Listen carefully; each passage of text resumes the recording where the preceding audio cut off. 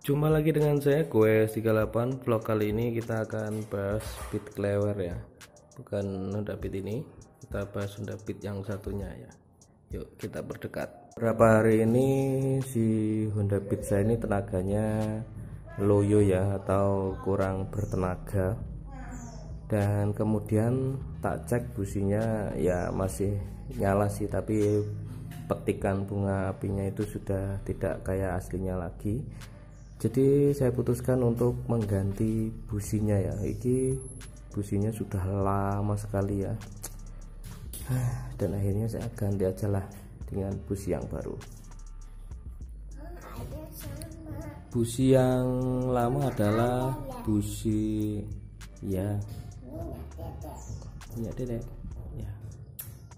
Busi yang saya pakai dengan brand NGKR kodenya R nah ini tadi saya eksperimen dan saya cabut seperti ini.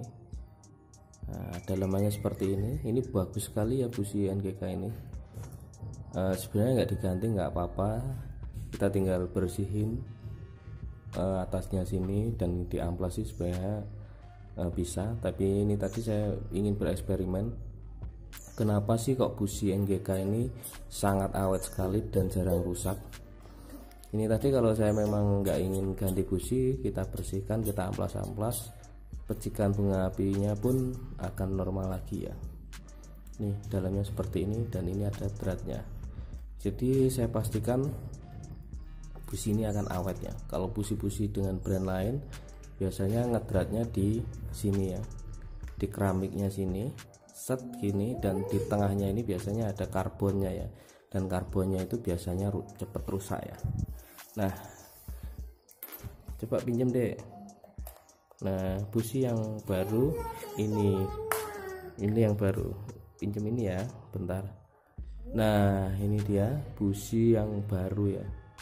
Busi yang baru ini dengan brand NGK R juga yang saya beli.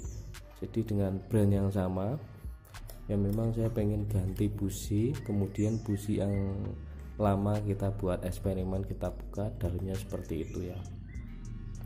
Oke kita akan coba uh, pasang businya.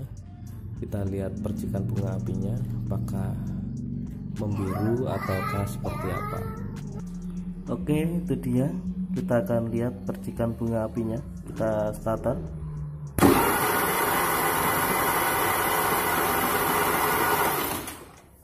Apinya sudah biru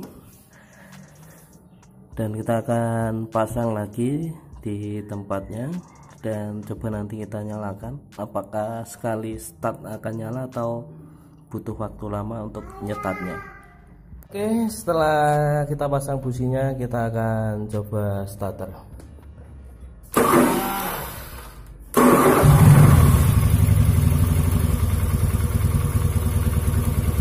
Starternya kasar ya bit lama